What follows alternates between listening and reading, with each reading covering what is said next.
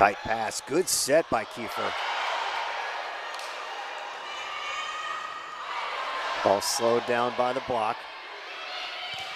Burks with power. She's rejected in Tulane. Miscommunication can't cover what should have been a ball kept alive, and Alabama takes set number one. It's great teamwork. Yeah, that's what the replay's for. well, it is set point. Ooh, missed connection there. Yasuji saved that ball.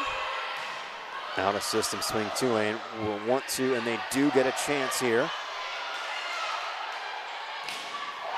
And there's the block in the middle. Skyers try to get them focused on what's coming up next, and it's another set point.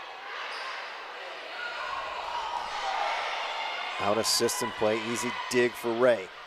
And a kill out the middle for Aaliyah Wells, the senior, puts it away. In Alabama, it was close, but they take the second set 26-24. Birthday go to serve.